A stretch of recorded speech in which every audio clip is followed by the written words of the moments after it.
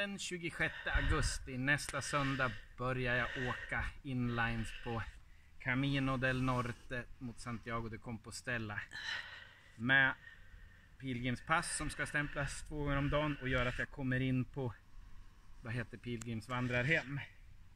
Och i och med att jag ska ligga i sovsalar så behöver jag ha mycket öronproppar, ett par skor, någonting att ha för ögonen så man kan sova, ett par lätta tunna vad heter byxor, GoPro-kamera, laddare till mobilen.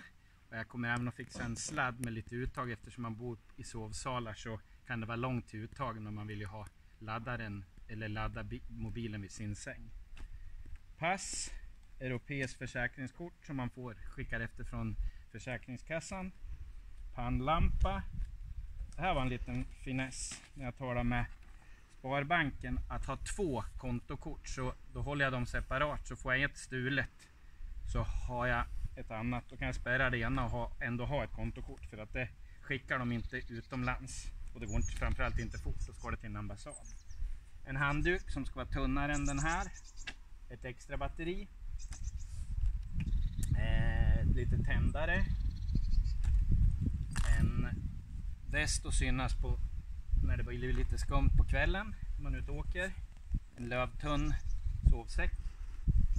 Lite grejer för um, avsår. Resorb att ha i vattnet som jag dricker. Lite tejp och grejer för skavsår. En keps. Um, för kudden. Och um, en regnponcho. Inline ska jag försöka åka. Flygbiljett. Portmonnä. Ett par extra shorts. Tre olika sorts tröjor eller t-shirts. Badbrallor. Vad heter strumpor och ett par handskar. Och en ryggsäck. Tack så mycket. Buen camino.